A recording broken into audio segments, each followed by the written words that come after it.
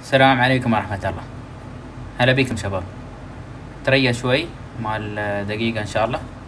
خلي يدشون الشباب. نبدأ في ال live. طبعا تجربتي هاي أول تجربة في ال live. نتكلم وياكم في ال live إن شاء الله. بعض المتابعين اقترحوا كذا مرة. عبد الله اطلع live اطلع live اطلع live. فنتمنى نتمنى تكون لها فايدة إن شاء الله. وأنا من عادتي أعطي المختصر يعني. فبحاول اللايف بعد قد ما أقدر أمشي بسرعة في النقاط اللي في بالي وأعطيكم المختصر. هلا بيكم.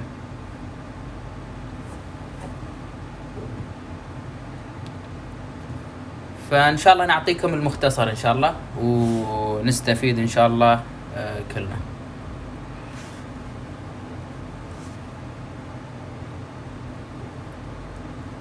زين موضوع اليوم إن شاء الله بيكون كيف أستثمر صح في العقار. أه وايد شباب يسألون.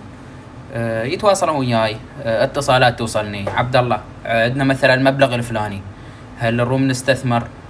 أه عبد الله كيف نبدأ الخطوة الأولى في العقار؟ بالنسبة لنا الخطوة الأولى نشوف نشوفها مبهمه في استثمارنا في العقار. فإن شاء الله بجاوبكم في هاللايف. هلا بيك سيف مرحبتين.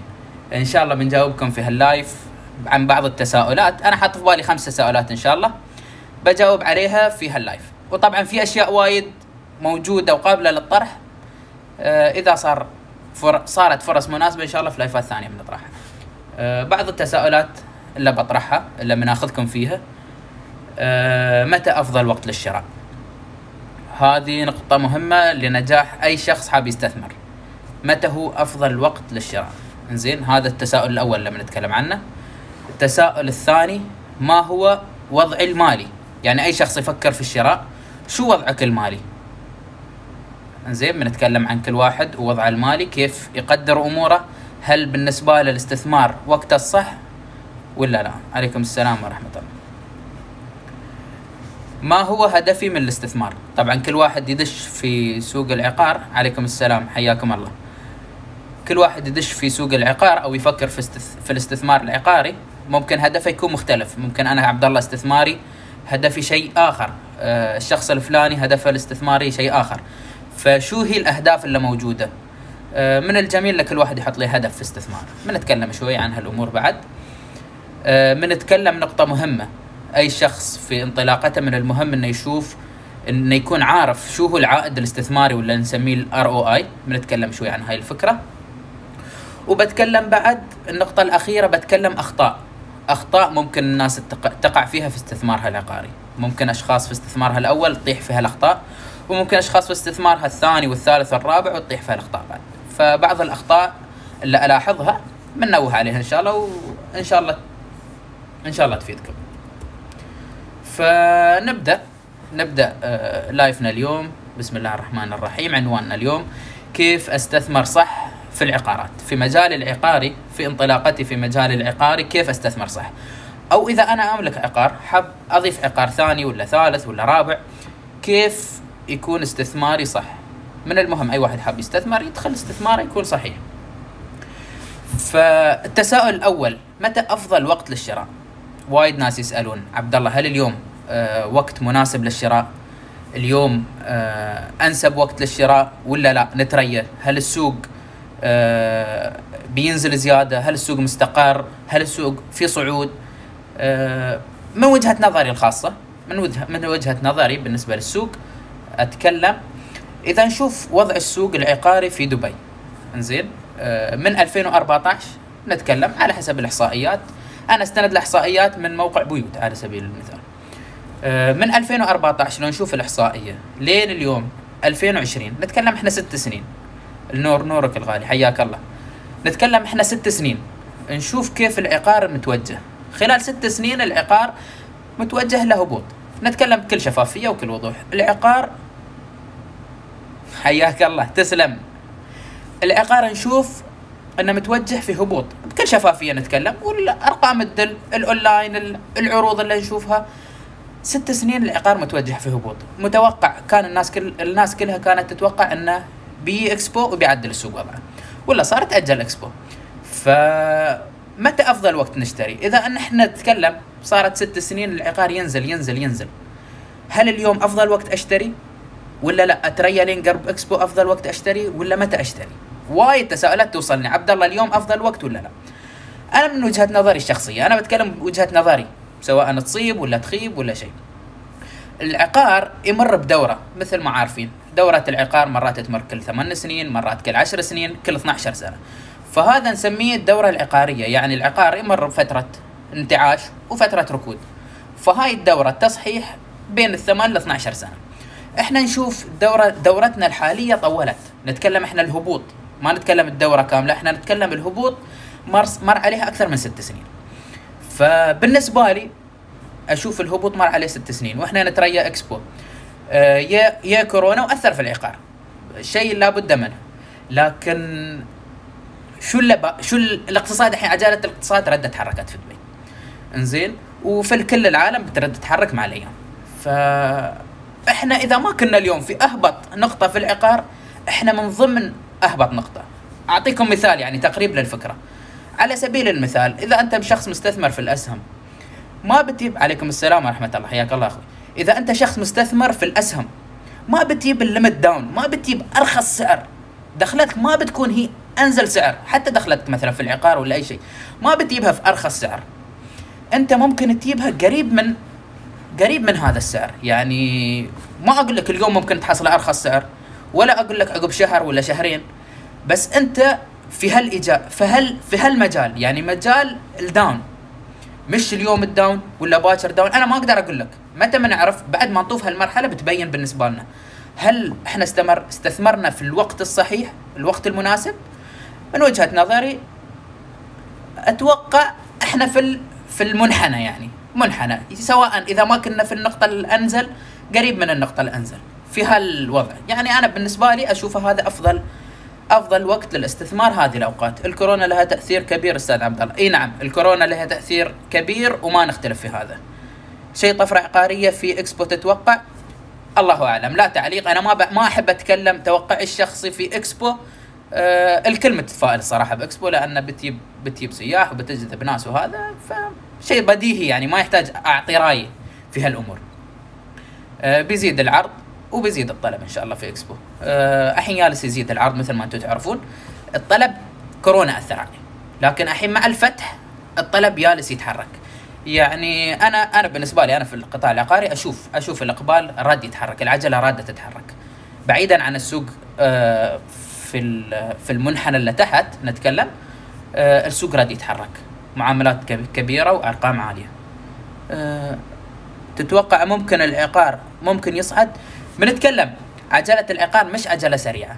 بنتكلم من بعض الأخطاء في التساؤل الخامس بنتكلم عن هالغلط اللي وايد مستثمرين يفكرون فيه. حياك الله أبو أحمد. منور منور أبو أحمد. انزين التساؤل الثاني. تكلمنا عن التساؤل الأول متى أفضل وقت للشراء؟ تكلمت أنا من وجهة نظري الخاصة ممكن البعض عنده وجهات نظر ثانية. العموم هاي وجهة نظري الخاصة وحبيت أشارككم فيها. شخص حاب يستثمر أنا أتكلم شخص حاب يستثمر مثلا لأول مرة. ومش عارف. وايد شباب يسألون والله عبد الله حابين نستثمر أول مرة بس مش عارفين كيف نبدأ. كيف أبدأ؟ مش عارف يعني في عقاري الأول. إنزين أنا بسألك هل أنت مؤهل للاستثمار ولا لا؟ هل أنت مؤهل؟ أنا أتكلم ماديا للاستثمار ولا لا؟ بتقول لي كيف يعني؟ ممكن شخص هلا بيك سيف. ممكن تقول لي كيف يعني مؤهل ولا لا؟ أه بقول لك عندك المبلغ؟ عندك السيولة؟ بتقول لي لا. جالس أفكر بقول لك أوكي أنت غير جاهز للاستثمار. تريح جمع فلوس بعدين اتكلم إنه ممكن أستثمر ولا لا. ترى الخوف أستاذ عبد الله. شوف أنت أي استثمار تدخله ولا أي تجارة لازم فيها المجازفة. الخوف راجع لك. شا... أنت شخص تخاف شيء راجع لك يعني. كل استثمار فيه مجازفة. حياك الله حياك الله السمي تمويل عقاري من البنوك. هذا يباله أصلا يباله دردشة لايف كاملة عن البنوك أمور البنوك وكيف هالأمور. إنزين قل فقلنا هل عندك مبلغ؟ إذا قلت لي لا أنت ما عندك مبلغ أنت اليوم غير مناسب بالنسبة لك الاستثمار العقاري. قلت لي هي عندي مبلغ. بقول لك كم المبلغ المتوفر عندك؟ أي شخص أول مرة يفكر في العقار. قلت لي والله أنا مجمع مجمع عشرين ألف. ممكن شخص يقول لي أنا مجمع عشرين ألف وحاب أستثمر في العقار. من البديهي؟ بقول له لا. فلان المبلغ اللي عندك ما يكفي. جمع زيادة. آه، ممكن شخص يقول لي أنا عندي في حدود المية ألف. بقول له أوكي عندك في حدود المية ألف وعندك دفعات ممكن طريقتين للاستثمار. الطريق الأول للاستثمار ممكن قيد الإنشاء ونرتب أمور الدفعات وممكن مثل ما قال الأخ تمويل البنكي العقاري. إذا أنت عندك في حدود المية ألف أنا أتكلم ممكن طريقتين. طريقة قيد الإنشاء وطريقة تمويل عقاري تمويل بنكي. وكلهم كل واحدة لها إيجابيات ولها سلبيات.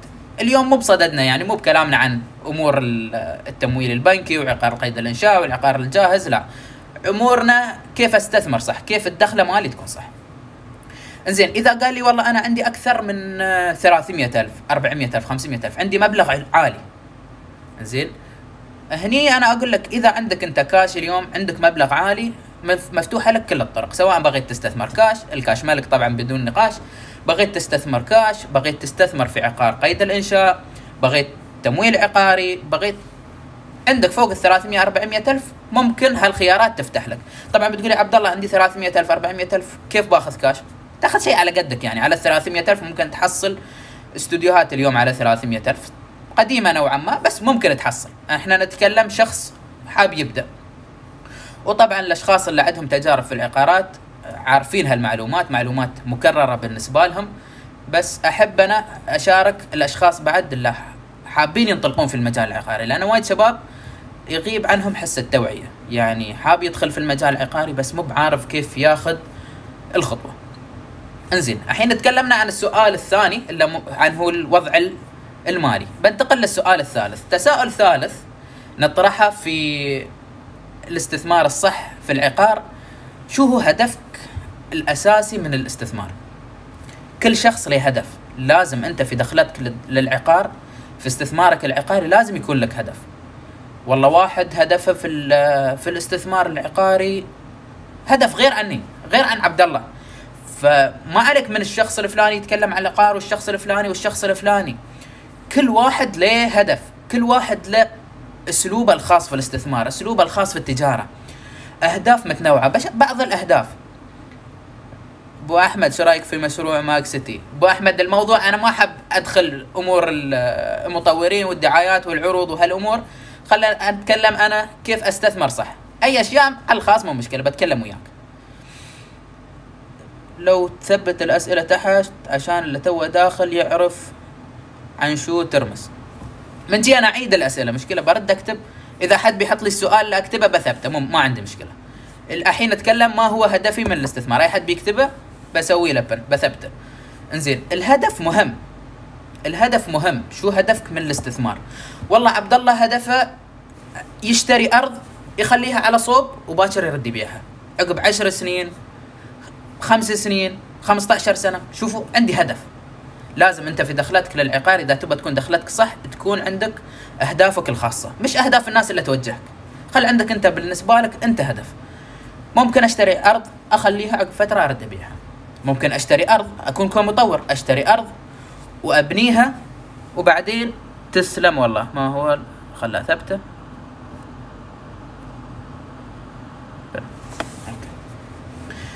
أشتري أرض وأبنيها وبعدين أطورها أبيعها. هدف ثاني. ممكن ولا مو ممكن؟ في الاستثمار ممكن هالشيء. أه هدفي أشتري والله عقار جاهز. أشتري بسعر لقطة. عقب فترة أرد أبيعه. ممكن؟ موجود هدف. شوف كل واحد له أسلوبه في الاستثمار. مش كلنا نفس الأسلوب. أي شخص يفكر له أسلوبه الخاص. ممكن شخص يفكر والله أشتري عقار جاهز بس أشتري عقار أشتري عقار قديم. مثلا بيت تراثي بيت قديم بيت شعبي بيت عفى عليه الزمن. أسوي له صيانة. ارممه وارد أبيعه. أرفع من سعره؟ وارد أبيعه. في ناس تسوي هالشغلة في ناس تسوي هالشغلة. فكل واحد من المفروض يكون له هدف. إحنا تكلمنا عن كم هدف. الحين تكلمت أنا عن خمس أهداف. ممكن هدفك تشتري عقار. تشتري عقار جاهز. تسوي له صيانة وتأجره. هدفك شوف شو هدفك؟ تأجير. أخوي عبد الله شو الأفضل؟ بما أن حاليا العقار قيد الإنشاء أغلى من العقار الجاهز هل نأخذ مشروع قيد الإنشاء ولا نتريى المشروع ينتهي ونأخذ كاش بعد ما يجهز العقار؟ لأن السعر يكون أرخص. أخوي محمود. أخوي محمود السؤال أصلا شوي خارج الموضوع. هذا أنا أقول لكم هالأمور هالتفاصيل يبغى لها لايف كامل. الحين نتكلم في الدخلة الأولى كيف ندخلها صح كيف نعرف الأمور. إن شاء الله. هل تساؤلات؟ وتساؤلات ثانية من, من بنوصل لوقتها بنتكلم عنها.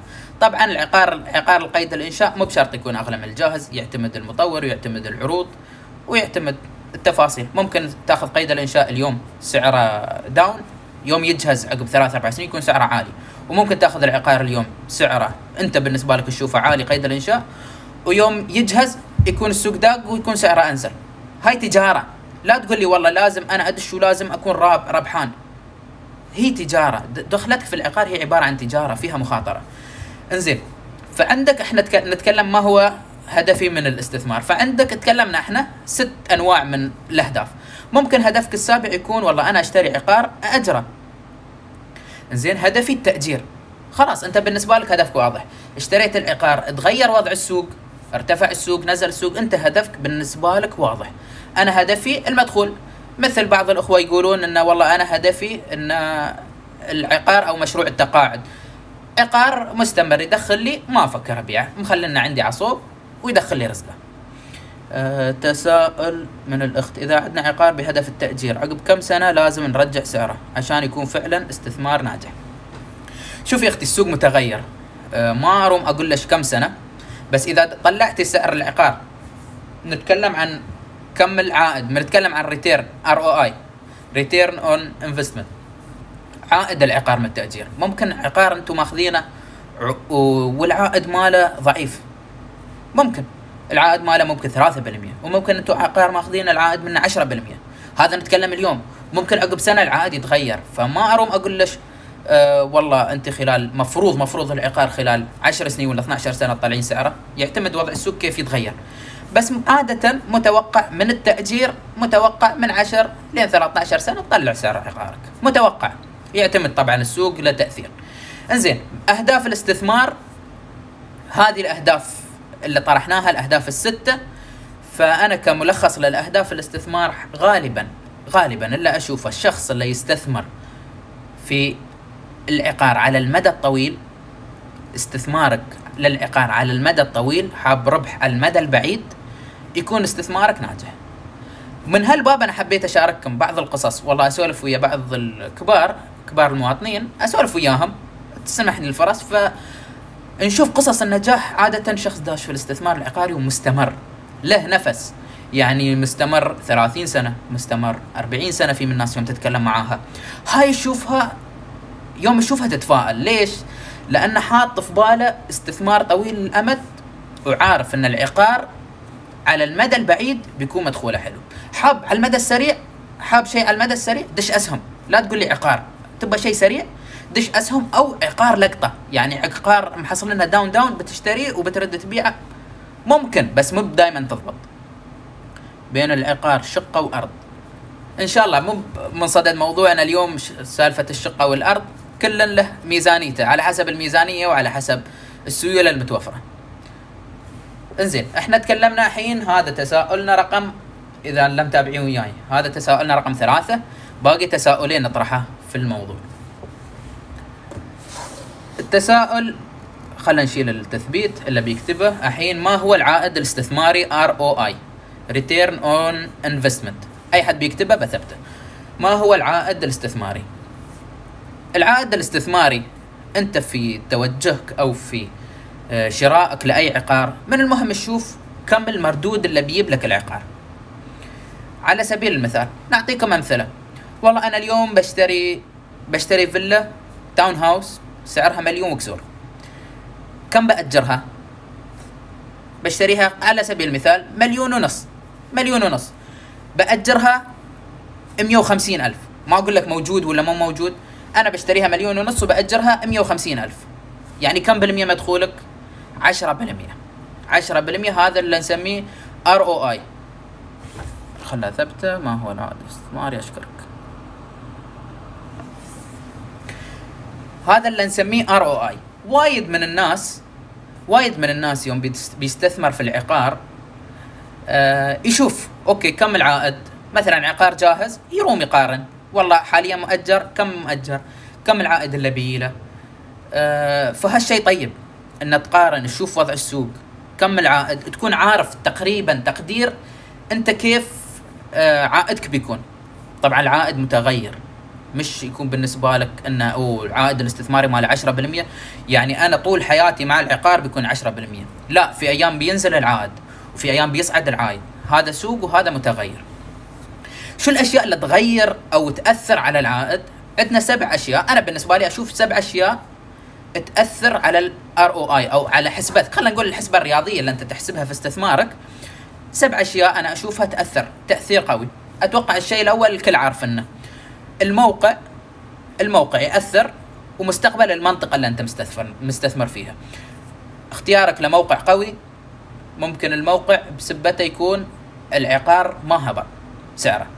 آه في ظل أزمة كورونا في ظل أزمة كورونا استغربت. في كذا مشروع ما نزل سعرها. وأنا الصراحة ما كنت على علم بهاي. واحد من المتابعين كان يسألني آه عبد الله شو رأيك في المشروع الفلاني؟ زين؟ قلت له والله أول مرة أسمع بيه بشوف لك وبرد عليك. يوم جيت أشوف عن المشروع وتفاصيله وهذا في ظل أزمة كورونا المشروع مرتفع سعره 10% لا تعليق. بتقول يا عبد الله شو هالمشروع شو ما المهم يعتمد الموقع ويعتمد مستقبل المنطقة.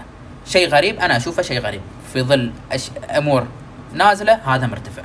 فالموقع له تأثير ومستقبل المنطقة له تاثير في الاستثمار. الشيء الثاني اللي يأثر على عائدك أو استقرار عائدك شو الخدمات المتوفرة في المشروع اللي أنت حاب تستثمر فيه؟ هل في مواصلات؟ هل في مثلا باصات RTA هل في مترو؟ هل في جمعية؟ هل في دكان؟ مدرسة؟ شو الخدمات المتوفرة تأثر في استقطاب المستأجرين أو الزباين أو إعادة البيع؟ آه شو ال quality؟ العقار اللي أنت تاخذه شو ال quality؟ هل ال quality ماله عالي؟ هل حجمه كبير؟ هالنقطة الثالثة اللي نتكلم عنها في التأثير على على العائد مالك. هل ال quality ماله ممتاز؟ حجم العقار ممتاز؟ إذا حجمه ممتاز لكن جودته عالية أتوقع المستأجرين بيونك بعد جودتهم في في الفلوس. يعني يعتمد أنت شو اللي تأخذه. عندك عقار A class وعندك عقار B class وعندك عقار C class فأنت شو اللي تاخذه؟ أتوقع منه المردود بعد اللي تاخذه. الموقع يأثر في موضوع ال ROI والعائد يكون أقل ولا يكون ال resale يكون أفضل. إي طبعا في من مواقع زين ال ROI يأثر فيها. آه الموقع ممتاز ال ROI أنزل. في إعادة البيع يكون أعلى. كلامك سليم. آه فمن هذا الموقع فمن هذا السبب نقول حدد هدفك من الاستثمار. شو هو هدفك؟ شو هو الشيء اللي بتمشي معاه؟ المنطقة والله عليها إقبال ومبيعات عالية. أنت هدفك إعادة البيع بتاخذ في منطقة عليها حركة قوية بيع وشراء. هدفك تأجير بتاخذ منطقة عليها آه الطلب في الإيجارات أعلى ومن هالمجرى إنزين آه النقطة الرابعة اللي تأثر آه وضع السوق الحالي وقت الشراء. يعني نعطيكم مثال والله أنا حاب أخذ عقار نعطيكم على سبيل المثال في واحة السيليكون. أنا حاب أخذ عقار اليوم. في واحة السيليكون. ممكن تحصل عقار اليوم مردودة 6% 7% في واحة السيليكون. ممكن 8% نتكلم وضع السوق الحالي. فأنت بالنسبة لك العائد الاستثماري اليوم 6% إلى 8% لأن أنت دشيت اليوم في السوق. لكن الأشخاص اللي داشين قبلك اللي داشين مثلا من أربع سنين من خمس سنين العائد مالهم اليوم ممكن وصل 4% 3% فكل سنة كل سنة العائد يتغير. أنت تكون ماخذنها بعين الاعتبار. العائد متغير. دخلتك تقارنها بالإيجار okay بتعرف عائدك اليوم. وكن متوقع المستقبل كيف يمشي. هل المستقبل بيكون استقرار بيكون هبوط وفي تصحيح. كل واحد له نظرته الخاصة. في حسبة ال return في حسبة ال return من الجميل عندنا عندنا وعي الكل عارف موضوع رسوم الخدمات. يعني يوم بياخذ عقار يسأل عن رسوم الخدمات وهذه نقطة جدا جميلة. أي شخص حاب يستثمر حاب ياخذ عقار يكون عارف شو الرسوم الخدمات اللي مطلوبة عليه عشان يحسب النت نت انكم الصافي كم مدخولك ممكن العائد يرتفع طبعا ممكن العائد يرتفع. ما في نقاش ارتفع السوق يرتفع العائد. العائد متغير. كل مرة تأجر يتغير السعر. هذا سوق يرفع سعر ينزل سعر. ممكن يرفع ممكن ينزل. عادي أنت اليوم ماخذ مكان وانت شايف أوه هذا جذبني الإعلان لأن بنتكلم في الأخطاء إحنا. جذبني الإعلان لأن العائد ماله 9% ولا 8% واليوم السوق ما تشوف منها العوائد. ممكن. لكن السنة الجاية يوم بتي تاجره تكتشف إن العقار يا دوب يجيب 5% ممكن؟ ممكن تصير هالمشاكل. واحد الموضوع بالمو... الموضوع يجر موضوع ثاني. واحد من الشباب كان يسألني قال لي عبد الله والله محصل العقار الفلاني. والعائد ماله ثمانية تقريبا ونص بالمية زين فشو رأيك في العقار؟ شفت التفاصيل وها؟ وقال لي العقار مأجر. والعائد ثمانية ونص بالمية فشو رأيك؟ شو الأمور اللي أشوفها؟ أتوكل على الله ولا لا؟ قلت له فلان كسعر كسعر ممتاز. يعني السعر سعر العقار سعر اللي نسميه لقطة هي لقطة السعر. لكن العائد أنت تقول لي 8.5% سعر التأجير لما اجرنا أنت المستأجر الحالي مش نفس سعر السوق. فتوقع بعد انتهاء العقد شو اللي يصير؟ المستأجر يا يكلمك فلان نزل لي الإيجار يا يقول لك والله أنا بطلع أه وتدور السعر وتدور مستأجر جديد على سعر السوق. فاليوم انت تشوف الار اي مالك 8.5% بس مع طلعة المستأجر وردة مستأجر جديد ممكن تكون 6% فهاي وايد يغ... شباب يغفلون عنها. خلها تكون بعين الاعتبار بالنسبة لكم. ممكن مبلغ رسوم الخدمات الخدمات يتغير وعلى أي أساس. آه، أخوي خالد سؤال حلو. ممكن رسوم الخدمات يتغير؟ هي آه، رسوم الخدمات متغير. آه، ودائما دائرة الأراضي ترفق اللي هو نظام ملاك يرفقون لك الرسالة من بداية السنة اللي صار. رسالة ربع سنوية تكون إن شو صارت الاستهلاكات في المبنى. طبعا استهلاك المبنى زادت عليه الكهرباء ارتفعت رسوم الخدمات. صارت له أمور صيانه بترتفع رسوم الخدمات. بس مقدرة من إلى شو الأسباب اللي ممكن ترفع العائد الجنيبي سؤال حلو. بعض الأشياء ممكن ترفع لك العائد والله أنت أخذت العقار سويت له صيانة. ضبطته. سويت له بولش بولش. ممكن ترفع عائده حطيت له لمسات. ممكن ترفع عائده كيف أسلوبك أنت في الاستثمار؟ العائد ممكن يرفع هي ممكن يرفع. عدد الشيكات يأثر بعد. لا تنسى بعد الإجراءات. ما تقدر تزيد كل سنة على حسب السوق. هنا. مساء الخيرات مساء النور على العموم نرجع لموضوعنا وصلنا النقطة الخامسة اللي تأثر في ال ROI العائد الاستثماري. آه أنا توقعت الصراحة بخلص ال live وايد أسرع ما أدري ليش. المهم ال live حلو وتساؤلاتكم الصراحة حلوة. آه نستمر ما هو العائد الاستثماري وشو الأشياء اللي تأثر عليه؟ تكلمنا النقطة الخامسة رسوم الخدمات. النقطة السادسة خلي يكون في عين الاعتبار بالنسبة لك. فترة الإخلاء. فترة الإخلاء ما حد يتطرق لها. ليش؟ أنت يوم يفضى عقارك أنت إذا تشوف ال return ROI لازم في فترة مستأجر بيطلع ومستأجر بيي فأنت في حسبتك إذا أنت حسبتك صح تكون ماخذنها بعين الاعتبار. يعني كيف عبد الله قصدك؟ يعني قصدي أنت بتأجر العقار نفترض 12 شهر صح؟ خلص. خلص المستأجر يبى يخلي عقب تسع شهور قال لك المستأجر أنا بطلع. عليكم السلام. لا متحملين كما فعليك الجنيبي. فعقب تسع شهور قال والله أنا أبغى أطلع. زين توقع أنت بيطلع يوم بيخلص العقد فترة بيتم العقار فاضي. فهاي تنزل مردودك تنزل الريتير مالك ترى. إحنا يوم نتكلم في حسبة كاملة تخصم رسوم الخدمات تحسب حساب فترة إخلاء فترة العقار يكون فيها فاضي. فالمدخول مالك الصافي لازم يكون عندك بعين الاعتبار فترة إخلاء يوم تحسبها حسبة رياضية بالنسبة لك. هذه النقطة السادسة. إنزين النقطة السابعة اللي هي الأخيرة في هاي النقطة نقطة العائد الاستثماري التصليحات اللي يكلفك العقار. ممكن تشتري عقار ويحتاج تصليحات. والله المكيف اخترب. والله الشيء الفلاني فيه مشكلة. والله فممكن تجيك تصليحات. هذا يأثر في في العائد مالك. وشيء طبيعي. أنت ساكن ساكن في فيلتك ما فيها تعديلات ما فيها تصليحات نفس الشيء في عقارك في استثمارك. كن متوقع هالشيء. ما على بتقول لي عقار جديد أول سنة ما بتجي تصليحات صح عقار جديد أول سنة مش شرط تجيك تصليحات ثاني سنة مش شرط. بس ممكن؟ هي ممكن. أخطاء واردة خرابات واردة. فأنت تكون حاسب حسابك. حاط لك ميزانية والله للتصليحات وحاسب حسابك حسبتك الرياضية فترة إخلاءات. هاي إذا بنتكلم في live ياي عن أمور البنك هاي جدا مهمة تحسبها. في حسبة ال cash flow طريقة التمويل البنكي ومن هالأمور يبالنا live كامل عن هالأمور. فهاي السبع نقاط أعيدها اللي تأثر في ال return النقطة الأولى الموقع. الموقع ومستقبل المنطقة يأثر. الخدمات المتوفرة. ثلاثة الحجم والجودة. أربعة وضع السوق الحالي. خمسة رسوم الخدمات. ستة الإخلاء فترات الإخلاء. وسبعة التصليحات هاي سبع أمور تأثر. انزين ننتقل ننتقل لنقطتنا الأخيرة تساؤلنا الخامس في اللايف وأتمنى أن يكون نال إعجابكم. أخطاء ممكن أن أقع فيها في استثماري سواء كان استثمارك الأول ولا الثاني ولا الثالث. أخطاء ممكن أن أقع فيها. إذا أحد من الشباب يكتب التساؤل من ثبته. أخطاء ممكن أن أقع فيها وأخطاء بعض الشباب للأسف يقعون فيها. يفكر في استثماره يفكر. تعرف يوم يصير للوسيط. تسلم والله محمد شرح جميل. ربي يعطيك العافية وكثر من اللايفات والنقاشات. وايد سعد تسلم والله. أفا عليكم. إن شاء الله. إذا الأمور ماشية بنحفظ لكم البث وبنزله بعد على اليوتيوب. إن شاء الله. إذا الأمور نشوفها ماشية وتفاعلكم طيب ليش لا؟ نستمر في لايفات. بين فترة وفترة ننزل لكم live. إنزين الأخطاء اللي ممكن أن نقع فيها.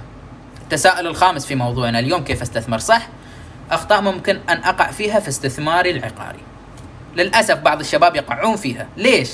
الوسيط أنا وسيط. صح إن أنا وسيط لكن واحد من الشباب يقول لي عبد الله أنت وسيط محايد. إنزين أنا وسيط. تسلم بعلي خل أثبت. والله متفاعلين الشباب اثنين كاتبين لي تسلمون أنا وسيط بس ممكن الوسيط يعطيك الشمس في إيده والقمر في إيد. يبى يبيع يا ريال يبى يحصل رزقته. شيء عادي هي شيء عادي. يبى يحصل رزقته بيحط لك الشمس يمين والقمر يسار يبى يبيعك. بيحصل عمولته بيحصل فلوسه. أنا من وين أترزق؟ من العمولة ترى. فبالنسبة لي من فائدتي اني ابيع هذا شيء طبيعي أي وسيط هذا تفكيره. فيحط لك يحط لك القمر فيد وال والشمس فيد ويوم تي للواقع لا تعليق. هذه نقول لكم فيها اسأل واسأل واسأل. قبل ما تطلع أو قبل ما تتحرك في أي عقار في أي استثمار اسأل. ما لا تسأل شخص لا تقتصر على شخص. مو تقول لي والله أنا سألتك أنا عبد الله أنت وخلاص. لا اسأل شخص وشخصين وثلاث. حاول تسأل. طبعا الاشخاص اللي بتسألهم ممكن تفكيرهم ممكن تفكير تفكيرهم أو هدفهم إحنا تكلمنا عن تساؤل ما هو هدفكم للاستثمار ممكن هدفهم مختلف عن هدفك. لكن بعد اسأل. إذا كانت تجربتك الأولى أنت ما ما عندك خبرة اسأل. إذا عندك تجارب وعندك خبرات ممكن تكون عارف كيف الأمور تمشي. هذا غلط وايد الناس تطيح فيه للأسف. وبعدين يجون يتكلمون والله أنا أخذت العقار الفلاني و... وطاح في كبدي اسأل. ادوات وسائل التواصل موجودة آه، وسطاء وايد موجودين ثقات. السوق ما شاء الله موجود فيهم الناس الثقات ما نتكلم إن كل الوسطاء آه، مش زينين. فأسأل. غلط ثاني والعديد يطيح فيه يفكر أنا استثماري في العقار استثمار سريع. يعني أنا بكسب بكسب مدخول أو عائد سريع. العقار لا استثمارك في العقار أكرر استثمار طويل المدى. هدفك يحدد؟ صح هدفك يحدد لكن لا تتوقع المكسب السريع. أنت مش في أسهم. أنت استثمارك في عقار. استثمار عقار قصص العقار أو قصص الناس الناجحين في العقارات قصص ناس استثمروا في العقار على المدى البعيد. خل هذه النقطة في عين الاعتبار. واستثمارك في العقار يحتاج صبر. مرات فترة انتعاش ومرات فترة ركود ومن هالباب. على سبيل المثال واحد من الشباب يكلمني. طبعا ما بذكر اسمه يمكن ويانا على ال live. زين ويسمح لي يعني استخدمت قصته في في ال live. يقول لي والله عبد الله أنا عندي عندي المشروع الفلاني وقريب يتسلم بس ابى أبيعه. قلت له زين فلان محتاج فلوس؟ قال لي لا بس خلاص ابى أبيعه. قلت له زين بتستفيد؟ قال لا بخسر بس ابى أبيعه. ليش؟ يبغى يتحرك بسرعة. زين عندك خطة بدالة؟ لا ما عنده خطة بس يبغى يبيعه. حس عمره مو مرتاح له. كان متوقع مكسب سريع وما حصل المكسب السريع ما حاب يصبر. قلت له فلان لا. إذا أنا تبى نصيحتي لا تبيعه. أنا بالنسبة لي بستفيد. إذا أنت بتبيعه أنا ببيعه لك أنا بستفيد. بحصل بحصل من وراك رزقك. بس لا ما أنصحك تبيعه. دامك مش مضطر اليوم وبتبيعه بخسارة كل شيء فهمته إلا العقار والأسهم. أختي العقار تغييره بطيء. الاسهم ممكن يوم تشوفينه مرتفع بسرعة ويوم نازل بسرعة من هالباب. العقار لا. شبه يعني آه، حركته جدا بطيئة. حركة الاسهم جدا سريعة. ممكن في يوم وليلة تشوفين السهم نقز 10% فوق. العقار لا ما يكون نفس آه، الأسهم. كم العمر الافتراضي للبنايات؟ كم سنة؟ م... اوه سالفة العمر الافتراضي موضوع طويل هذا. زين فاسمح لي ما بجاوب لك أبي بنروح في إطار آخر. تفكير في المكسب السريع هذا تفكير غالط. لا تتوقع مكسب سريع كون صبور في استثمارك العقاري. الشيء الثالث بالضبط أخوي العقاري يمرض لكن ما يموت. صح. الكلام سليم. ممكن يمرض ما يموت. بس أشياء ثانية ممكن تموت. فخ الإعلانات. فخ الإعلانات المستثمرين لأول مرة يطيحون في هالغلط أوه وايد. اشتر اشتر الشيء الفلاني وما يحتاج أوضح يعني على الشيء اللي في بالي بس إعلانات وايد. إعلانات وايد وبعض الإعلانات الخيالية. الخيالية توقفوا عندها ما يحتاج أتكلم عن إعلان معين. أنتم أدرى في السوق وشو اللي قاعد يستوي. فممكن تكون أنت وقعت فخ لمن فخوخ الإعلانات. كن واعي. اللي ما فهمتك كيف المكسب. هي آه أختي في الأسهم الشخص يبيع وممكن يضارب ترى يبيع يشتري يرتفع والله السهم 5% رد باع عقب ثلاث أربع أيام. لا تتوقع نفس الشيء في العقار. لا تتوقع سرعة البيع والشراء هذا القصد. إنزين هذه النقطة الثالثة فخ الإعلانات. النقطة الرابعة الارتباط النفسي. يعني شوف أنا العقار أه والله حبيت العقار. زين؟ حبيت العقار ليش؟ فلان ليش حبيت العقار؟ والله العقار لأن على سبيل المثال لأن صوب عقاري الثاني. لأن العقار آه، صوب عقار فلان. يعني ممكن يسبب لك الارتباط النفسي بالعقار يسبب لك اندفاع في الشراء. ويكون الشراء مش لمصلحتك. انت حسيت عمرك اوه لا هذا باخذ العقار يعني باخذه. ممكن طريقة ثانية أوصلكم الفكرة كيف الاندفاع النفسي؟ عقار عجبك. زين؟ وقدمت عرض. قدمت عرض للبايع والله أنا بشتريه مليون قدمت عرض والله أنا بشتريه بمليون. عقب يوم يومين قال لك قال لك البايع والله وصلني عرض مليون وخمسين ألف. أنت تقول خلاص بحط مليون ومية. وتصير هالحركة. أنت مندفع ومتحمس وتعطي العقار أعلى من سعره نفس نفس لعبة المزادات. ممكن تاخذك في اندفاعات ومرات تأخذ تأخذ شيء بأعلى من سعره نفس الشيء آه الناحية النفسية في العقار. ممكن تغلط هالغلطة. فكن منتبه. لا تأخذ شيء أعلى من سعره. حاول إن تكون مع السوق. لأن باكر أنت العقار مهما يكون بيجيب لك نفس السوق حتى لو أنت حطيت له أعلى من سعره. آه غلط بعد. غلط آه شباب يطيحون فيه ما يكون متوقع المفاجآت. ما يكون متوقع الأشياء. ما أقول لك كون سلبي بس كن متوقع أن في أشياء سلبية قد تحصل لك. كن متوقع لا لا تخلي الشمس والقمر عندك. لا كن متوقع بعد الأشياء السلبية. شو الأشياء السلبية؟ على سبيل المثال أنت ماخذ عقار قيد الإنشاء. أتوقع عادي يصير في تأخير. يا أخي عادي الشيء. ممكن يصير تأخير وهالشيء عادي. أي مقاول ممكن يصير يصير تأخير في البناء كن متوقع. صار تأخير أوه تكهرب الريال وهذا وتأخر المشروع. يا أخي كن متوقع المفاجآت. اشترى عقار وطلعت فيه مشاكل أوه العقار يحتاج صيانات ومن هالأمور وبدفع له بعد زيادة. يا أخي كن متوقع. أشياء المفاجآت لا تصدمك. كن حاسب حسابك يعني. متوقع هالأشياء. النقطة الأخيرة في الأخطاء اللي ممكن تقع فيها يوم تستثمر في عقار. أنا ما أتكلم هذه بعيدا عن الاستثمار الكاش.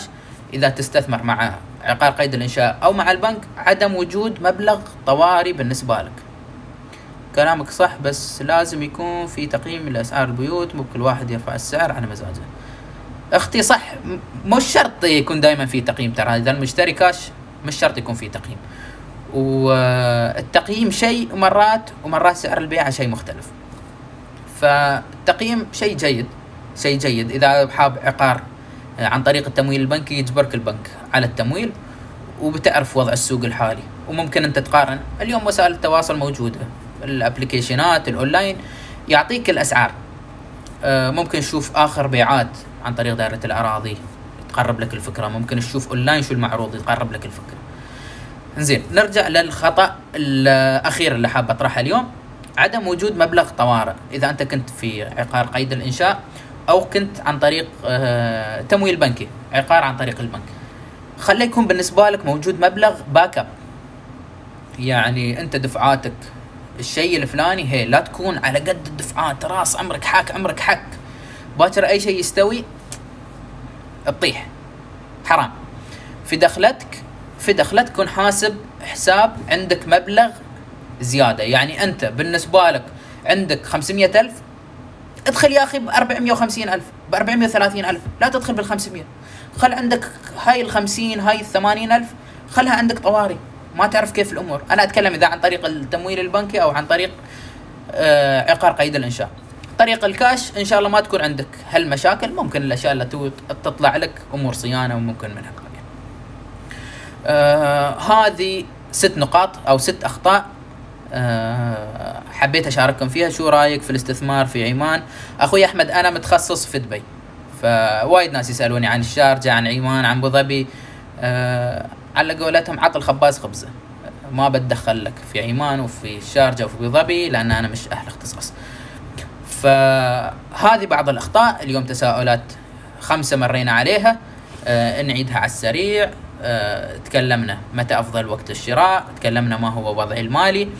تكلمنا ما هو هدفي من الاستثمار وتكلمنا عن ما هو العائد الار أو اي وتكلمنا عن أخطاء ممكن أن أقع فيها في استثماري. فهذه الأمور الخمسة آه إذا أخذتها بعين الاعتبار إن شاء الله يكون استثمارك العقاري صحيح وإن شاء الله يكون ناجح. خلينا نشوف كم سؤال. شو الأفضل؟ الاستثمار في مناطق المواطنين أو التملك الحر؟ آه إختي إيمان. آه مناطق المواطنين أو التملك الحر؟ يعتمد على الميزانيات. إذا عندك ميزانية أنا أقول لك استثمر في مناطق المواطنين. إذا عندك ميزانية كيف أعتبر العقار الناجح؟ وكم يكون نسبة العائد الإيجاري؟ هلا بيك إبراهيم؟ آه إبراهيم العقار الناجح شوف نسبة العائد الإيجاري اليوم ممكن يكون مختلف. اليوم ممكن أنت بالنسبة لك 10% باكر يكون 8% فمش معناته آه هذا العقار على المدى البعيد يكون ناجح. فأنت خلى بعين الاعتبار العائد ممكن يتغير بالنسبة لك. وبالنسبة لك المنطقة الموقع مهم يوم تختار. شو أحسن مشروع في داخل دبي؟ في مشاريع وايد وايد زينة للاستثمار. أحسن موقع في وايد مواقع حلوة. في وايد مواقع حلوة. شو هدفك من الاستثمار؟ هدفك إذا كان مثلا نفترض التأجير أنت هدفك أي مستأجرين؟ ال top بتاخذ لهم على سبيل المثال في ال Downtown ولا في ال City Walk ولا هدفك ال B class ممكن تاخذ المناطق اللي شوي أهدى. هدفك ال C class ممكن تاخذ المناطق الانزل يعني كله يأثر. عندك حق. إرشادك سليم. تسلم أخوي رضا. آه عبد المحسن ليش ما في تمليك في ديرة بيوت وشقق للبيع؟ مش ما أشوف. آه في تمليك. ليش ما في تمليك؟ تمليك للمواطنين. شو الفرق بين استثمار مناطق المواطنين أو التملك الحر؟ آه أخوي حسين الاستثمار في مناطق المواطنين أو الخليجيين بس الخليجي اللي يقدر يستثمر. أعطيك على سبيل المثال البرشا أو آه البرشا على سبيل المثال أو الجوز أو مردف. مردف الحين طبعا المطورين طلعوا بعد باماكن فهذه المناطق مناطق المواطنين بس أنت إذا كمواطن بتبيعها على يا مواطن يا خليجي نسميها المناطق الخاصة بالمواطنين إحنا وطبعا هاي تكون أراضيها أكبر أمورها بالعكس العقار يعني له خصوصيته الخاصة. طبعا العائد المتوقع منه العائد الإيجاري شوف الهدف يأثر. عائد الإيجار متوقع أقل لكن إعادة البيع متوقع أعلى. يعتمد الهدف هو اللي يأثر. بحدود المليون. أخوي أحمد تواصل وياي وما يصير خاطرك لك طيب. أبو مكتوم اليوم ما بتكلم أنا عن مطورين ما مطورين. أي شيء حاب على الخاص ما عندي مشكلة. خالد شو يعني A B C class خالد قصدي أنا A و B و C class يعني قصدي أنت يوم على سبيل المثال تبى تأجر تبى تأجر على الطبقة العالية. عندنا طبقات موجودين الناس. من الطبقة المادية أنا أتكلم. آه من من ناحية الطبقة المادية. عندك ناس ناس راقية يعني من ناحية الأمور. ما عنده مشكلة بيستأجر استوديو حتى لو 100000 فأنا أتكلم A class عندك طبقة؟ لا متوسطة. يبغى استوديو 40 50 ألف ما عنده مشكلة. وعندك ناس استوديو 20 ألف مو prime. C class فهذا هاي يعني من, من وجهة نظري طبعا ما في أنا بالنسبة لي أنا أقول لك هاي A B C class أنت شو الهدف من الاستثمار؟ هو اللي يقرره. في الممزر عندك شخبرت أو في المطلوب من الشاطئ على العموم آه هذا ال live وقربنا تقريبا من 47 دقيقة 50 دقيقة ما شاء الله. كنت متوقع ال live بناخذ لنا نص ساعة حاط تساؤلات بسيطة. عندكم مواضيع حابين نطرحها في لايفات جاية؟ إن شاء الله. طرشوا لي على ال direct message. آه شو من عناوين تشوفونها مهمة؟ نطرحها في لايفات جاية. وان شاء الله ان شاء الله لنا طلعات دام في تفاعل منكم وهذا ان شاء الله لنا. لايفات جاية وما بنقصر معاكم. أي حد عنده استفسارات تسمحوا لي أي حد عنده استفسارات يتواصل وياي سواء على ال direct message أو على الواتساب. أنا أفضل على الواتساب عسى برد عليكم على السريع تبين لي ال notifications مرات على الإنستغرام شوي يتاخر الفيديو بنزله على ال post وبنزله على اليوتيوب. بنزله على المكانين وإن شاء الله إن شاء الله أتمنى أن افدكم فيه. وإذا تعرفون حد من الشباب ولا شيء شاركونا بالفيديو بيفيده طرشوا له الفيديو ونتمنى الفائدة للجميع. أه تحياتي. مع السلامة.